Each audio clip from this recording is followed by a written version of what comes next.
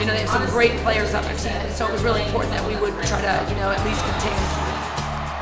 Played awesome. A lot of players stepped up in key moments. So That was important. Um, yeah, uh, we came back and we sided out well.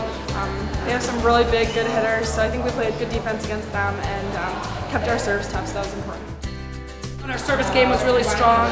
I thought that uh, you know we answered at key times, and uh, you know they started chipping away in game three, and I thought you know we had players step up and make good plays uh, to, to give us the third game. So a big big win for us, a very important win for us. Uh, you know, and then getting back into Maryland tomorrow. Our confidence, uh, especially going into a game against next, uh, Minnesota next week, and even the game tomorrow, it's big for our confidence. Every win in this league is huge, so um, yeah, it'll be good for us.